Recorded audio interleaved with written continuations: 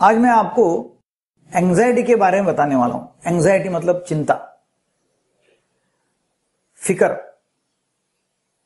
ऐसा बोला जाता है कि इक्कीसवीं इक्कीसवीं जो सदी है ट्वेंटी फ़र्स्ट सेंचुरी तो इसमें सबसे ज़्यादा प्रॉब्लम जो लोगों को वो है वो है चिंता का। टेंशन एंजाइटी चिता जो है ना, चिता वो मरे हुए आदमी को जलाती है। और चिंता जो है, वो जिंदे आदमी को जला, जलाती है। ज़िंदा आदमी जल जाएगा। आज ऐसा है कि छोटी छोटी बातों के ऊपर व्यक्ति को चिंता आ रही है। छोटी छोटी बात है। जैसा बच्चा है तो उसको चिंता है कि पढ़ाई कैसे करे? टेंथ में कैसा अच्छे मार्क लेके पढ़ाई करे वो? या कंपटीशन में कैसा वो आ जाए फ़र्स्ट तो उनके माँ बाप को चिंता रहती कि अपना बच्चा पढ़ाई करेगा कि नहीं करेगा। फिर बच्चा कॉलेज में जाएगा तो फिर उसको चिंता है कि भाई मेडिकल में जाना इंजीनियरिंग में जाना और कोई कोर्स लेना कौन सा कोर्स उसकी चिंता उसको लगे रहती है। तो बच्चे बड़े हो गए तो बच्चे को कोई मतलब कोई नशा वो करेगा क्या? कोई गलत संगत में है क्या? कोई लड़की ज़्यादा फ़ैशन कर रही है क्या? या कहीं व्हाट्सएप पे फेसबुक के ऊपर ज़्यादा काम कर रहे क्या? मतलब वो चिंता पालक लोगों को रहती है। फिर पालकों को शादी की चिंता रहती है। पैसे की चिंता रहती है लोगों को। फिर पैसा तो ऐसा है कि कितना भी कमाए तो भी कम लगता है। पैसे की चिंता है, कोई बीमारी हो जाएँगी उसकी चिंता है। प्रमोशन मिलेगा, नहीं मिलेगा उसकी चिंता है। बॉस क्या बोलेगा? ट्रांसफ़र मिलेंगी, नहीं मिलेंगी? ट्रांसफ़र होंगी कि नहीं होंगी? हमको ट्रांसफ़र होना नहीं है, हो जाएँगे तो क्या होगा? और चाहिए और नहीं हो रही तो क्या होगा? दोनों तरफ़ है। या कोई बड़ी बीमारी हो जाएँगी। या हार्ट अटैक आ जाएगा। दिल का दौरा पड़ेगा। या मैं फेल हो जाऊँगा। धंधा कैसे चलेगा? गवर्नमेंट के नए रेगुलेशंस कैसे क्या क्या आएँगे?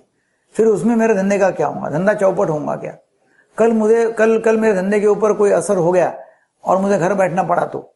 कल दिवाला मैंने पीट दिया तो क्या होगा? धंधे में बहुत लॉस हो रहा है, तभी क्या करना चाहिए? कर्जा बहुत है, कर्जा फेडने का है, ब्याज देने का है। तो बच्चों की पढ़ाई है, खुद की पढ़ाई है, या पति पत्नी में कोई संघर्ष हो रहा है, या माँ पिताजी का कोई संघर्ष है, उनके साथ में नहीं पट रही है सास ससुर के साथ में नहीं पट रही है। मतलब ऐसे अनेक कारण सामने हैं कि जिसके वजह से हमको दिमाग में कंटिन्यूसली टेंशन आते रहता है। तो मैं हरदम मेरे वर्कशॉप्स में बोलते रहता हूँ, जो मैं हिप्नोटिज्म के वर्कशॉप लेता हूँ, उसमें हरदम बोलते रहता हूँ कि भाई कितने लोगों को टेंशन नहीं चाहिए। तो सब हाथ ऊपर करते हैं। किसको टेंशन नहीं चाहिए?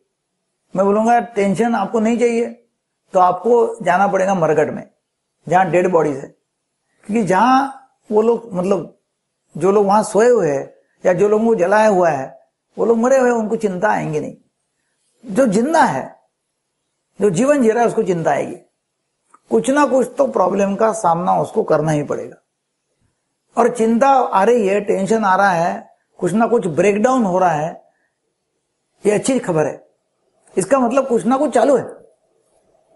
कोई चिंता होना है तो कुछ मत करो। जो आपको चिंता नहीं चाहिए तो घर में जाके बैठो, सो जाओ। और तभी भी चिंता हो जाएँगी, कुछ ना कुछ, कि मेरे को नींद आएगी नहीं। क्योंकि अभी एक एक आदमी था, वो रिटायर्ड हो गया। बोले, अभी कुछ प्रॉब्लम ही नहीं है। पेंशन मिल रही है। सत्रह अठारह हज़ार रुपए महीने की। और घर में बैठा हुआ है। मैंने बोला आपको चिंता तो कुछ नहीं होंगी। नहीं बोले, अभी चिंता है। बोले, क्या चिंता है? बोले, दिन कैसे काटना है चिंता है। फिर कोई बीमारी हो जाएँगी और जल्दी में मर जाऊँगा, वो चिंता है। नींद नहीं आती, जल्दी उसकी वो चिंता है। मतलब चिंता तो आएँगी। तो रोज़मर्रा की जो ज़िंदगी है, इसमें चिंता आने वाली, उसमें प्रॉब्लम्स आने वाले टेंशन आने वाले। और इसमें फिर हमने उसको कैसा फेस करना, उसका कैसा सामना करना वो महत्व का है। क्योंकि वो चिंता आएँगी प्रॉब्लम्स आएँगे, हम यदि उसका टेंशन लेंगे तो होगा क्या? मेरा ब्लड प्रेशर बढ़ेगा। मुझे डायबिटीज़ होगा शक्कर की बीमारी होंगी। मुझे अस्थमा आ जाएगा, मुझे खुजली आ जाएगी, मेरा पेट दर्द करेगा एसिडिटी होंगी। मतलब चिंता यदि रही तो काफ़ी सारे बॉडीली शारीरिक बदल होते हैं और बदन की बीमारियाँ काफ़ी हो जाती है चिंता की वजह से। सर दर्द होता है माइग्रेन के अटैक आते हैं। भूख नहीं लगती। मतलब इतने सारे प्रॉब्लम है चिंता की वजह से। तो भी इसका हल क्या है? करना क्या है?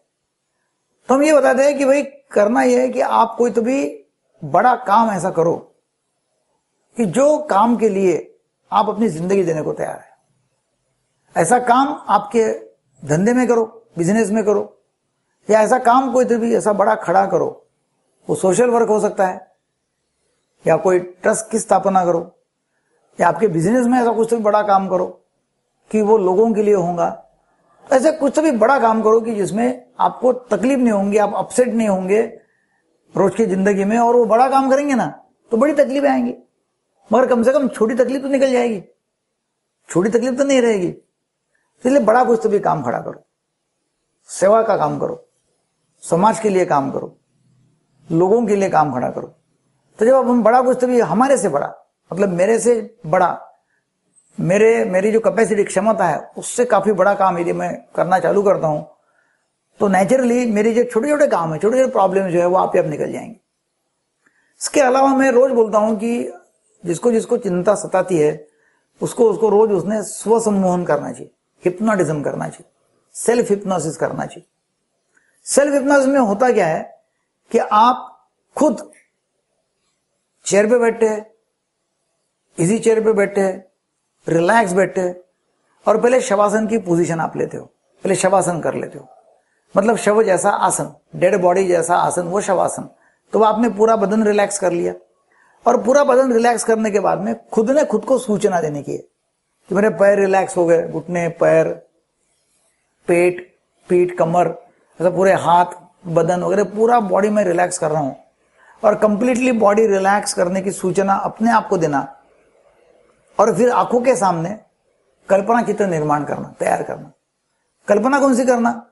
कल्पना यह करना है कि जहाँ जहाँ मुझे तकलीफ़ आती है, जहाँ जहाँ मुझे टेंशन आता है, जहाँ जहाँ मुझे चिंता आती है, वो जो है सिचुएशन वो सिचुएशन मैंने मेरे सामने लाना, कल्पना में। और वो प्रसंग मैंने सामने लाया, मेरे कल्पना में सामने लाया, और वो सिचुएशन में, वो घटना में मैं शांति से रिलैक्स होके दिमाग शांत रखे, उसका सामना कर रहा हूँ। एक्चुअली कर रहा हूँ, वो सब पिक्चर अपने आप का देखना। इमेजिनेशन में, वो पिक्चर देखना कि मैं उसका सामना कर रहा हूँ। और सामना करके एकदम मतलब रिलैक्स वातावरण में रिलैक्स होकर उसका सामना करके, बहुत ही अच्छा फील हो रहा है मुझे। बहुत ही अच्छा लग रहा है। और सब तरह ठीक तो हुआ, मैं अपसेट नहीं हुआ, मैं गुस्सा नहीं हुआ, मैं टेंशन में नहीं हूँ। और पूरी पावर के साथ में, पूरी शक्तिशाली रूप से उसका मैं सामना कर रहा हूँ। पूरी रिलैक्स होकर सामना कर रहा हूँ, ऐसा पिक्चर देखना आँखों के सामने। और जब आप ऐसा पूरा सामना करने का पिक्चर देखते हो, सवेरे, दोपहर, शाम को, कम से कम दो बार सुबह और रात को आप करते हो तो काफ़ी हद तक आपकी एंग्जाइटी की समस्या जो है टेंशन की समस्या जो है, वो आपकी दूर हो सकती है। तो आपने वो जो घटना है, उसकी कल्पना करके उसका सामना हम कर रहे हैं, या उसको मैं फेस कर रहा हूँ जो व्यक्ति के साथ में आपकी बातचीत हो रही है या वहाँ टेंशन आ रहा है तो व्यक्ति के साथ में बातचीत कर रहा हूँ। कोई ऑथोरिटी है, अधिकारी है, उसके सामने अपने को टेंशन आ रहा है तो उसके साथ में मैं काम कर रहा हूँ, बातचीत कर रहा हूँ, और कल्पना ऐसी करना कि उसके साथ में कुछ काम कर रहा हूँ। या कोई भी मतलब धंधे में ऐसा टेंशन आता है, या कोई पढ़ाई में टेंशन आता है, जहाँ भी आपको टेंशन आ रहा है, वो उसकी कल्पना करना, और वो कल्पना करने के बाद में उसका हम शांति से रिलैक्स होकर सामना कर रहे ऐसे बार बार बार बार जब आप सबकॉन्शियस माइंड को हैमरिंग करेंगे डेफिनेटली निश्चित रूप से मैं आपको बताता हूँ कि आपको उसमें फ़ायदा होगा। तो ये आप डेफिनेटली करो और आप चिंता मुक्त जीवन जी सकते हैं। चिंता मुक्त आप जीवन जिएँगे तो काफ़ी सारी बीमारियाँ जो है बदन की, उससे भी आप पूरी तरह अच्छे हो जाएँगे। तो वो कीजिएगा, ये जो YouTube पे शेयर करो आप, ये आप देख देख रहे हो वीडियो ये शेयर करो। लोगों को बताओ या और हमारे चैनल को भी आप सब्सक्राइब कर सकते हैं, ताकि मेरे से काफ़ी सारे वीडियोस आपको दिखेंगे और। So thank you very much